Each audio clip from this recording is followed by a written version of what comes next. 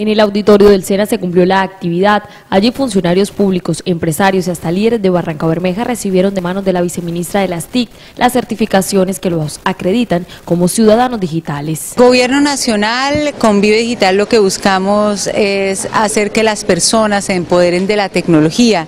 El esfuerzo de este gobierno por digitalizar a Colombia, eh, por llevar eh, nuestros puntos Vive Digital, por llevar computadores a los niños de las escuelas públicas ha sido fundamental.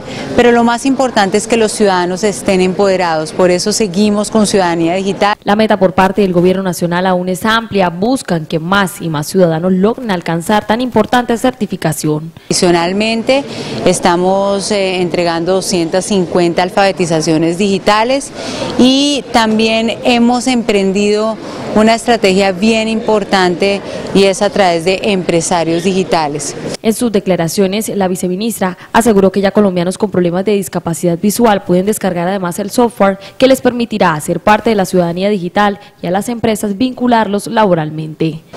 Desde hace cuatro días está en Colombia Convertic entran a la página web del Ministerio TIC y buscan este software, esta licencia gratuita para que cualquier persona pueda descargar eh, el software lector de pantalla que hace que las personas que no pueden ver utilicen un computador. Con esto buscan avanzar no solo en la capacitación, sino además en la inclusión poblacional.